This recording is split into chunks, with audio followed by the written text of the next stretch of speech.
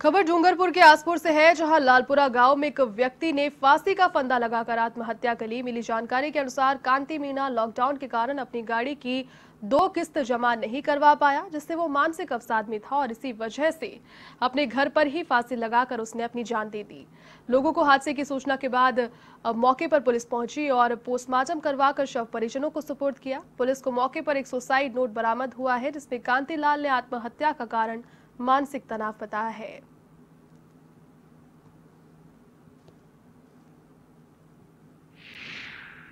सूचना मिली थी, लालपुरा में कांतिलाल पितर नातू ननोमा मीणा फांसी खा गया है और उसकी लाश घर पे है, जिस पर मैं उच्च अधिकारी, थानाधिकारी रिजवान खान साहब के निर्देशानुसार वहाँ मौके पे गया।